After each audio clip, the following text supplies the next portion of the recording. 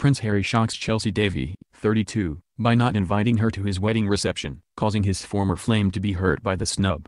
Most girls wouldn't expect an invitation to their ex-boyfriend's wedding, but such is the enduring friendship of Chelsy Davy and Prince Harry that she has wangled a pass for his big day, though she'll have to clear off before dark. Chelsy, 32, hasn't been asked to Harry's evening soiree at Frogmore House on Saturday and is said to be shocked. Says my source, Chelsy is the queen of nighttime parties. She's wild and fun, and no evening bash is really complete without her, so friends are surprised she hasn't been invited. Chelsy is surprised too, shocked in fact, and a little hurt. Chelsy and Harry have stayed amicable since breaking up in 2010 after a seven-year romance. In 2011 they went to Prince William's wedding together. Their relationship has been strictly platonic ever since, bar a fling in South Africa in 2015. Maybe it was Meghan who objected to having her along. P.S. Pippa Middleton will be another surprise absentee, having been left off the list for the evening bash. Prince Harry books a DJ.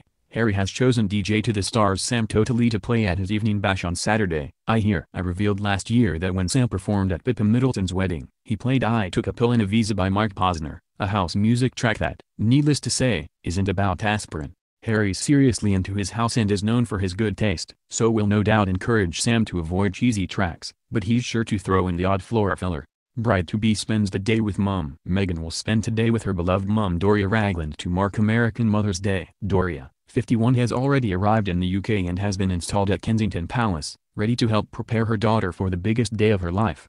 Meghan has said of her yoga instructor mom that she is like a best friend. It remains to be seen when Meghan's father will arrive. On Friday he was seen delivering flowers to Doria's house in LA. It's expected that both Meghan's parents will meet the Queen and Prince Philip before the wedding. Cressy starts wedding whispers of her own. Harry's ex Cressy is 29, had friends wondering if she is about to make a nuptials announcement of her own last week. She paid a touching tribute to her boyfriend Harry Wentworth Stanley on his 29th birthday, posting this snap of them on Instagram and describing him as my love.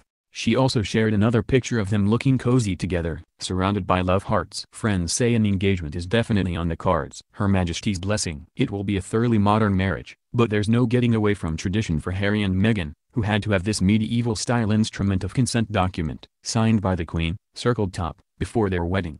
The vellum parchment records Her Majesty's consent to the union and the couple wouldn't be able to tie the knot without it.